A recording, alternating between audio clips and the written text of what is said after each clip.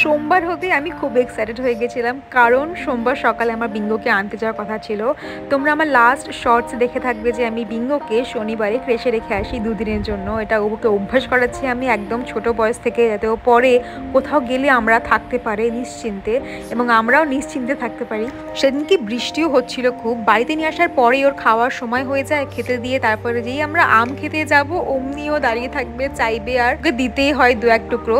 তারপরে বিকেলবেলা মাকে নিয়ে গেলাম, হাবিবে। মা বলছিল, চুলটা কাটবে। কিন্তু এতটা কাটবে বুঝতে পারিনি। কিন্তু ভীষণই সুন্দর লাগছিল, আর এটা ছিল স্টেপ কাট। পিয়ার্সিং এর বোর্ড দেখলাম আর তারপরেই তিন বছরের পুরনো ইচ্ছাটা আবার জেগে উঠল, আর মা ভাবলাম যে এবার পরিয়েই ফেলি। এটাই হলো লাস্ট চান্স তো একদম ছোট্ট দুটো স্টার্স আমি সিলেক্ট করেছিলাম, এটার দাম ছিল হাজার টাকা দুটো কান মিলিয়ে।